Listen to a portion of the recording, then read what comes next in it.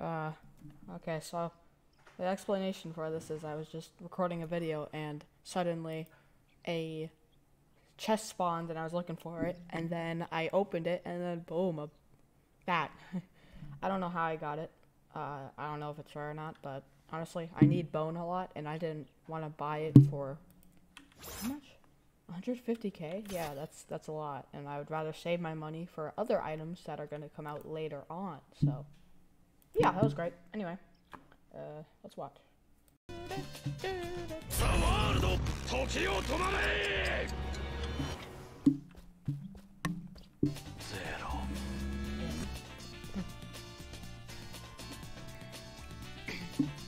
Where the heck are all the chests? Oh, spaceship. Okay, that's cool. Chess. Yay.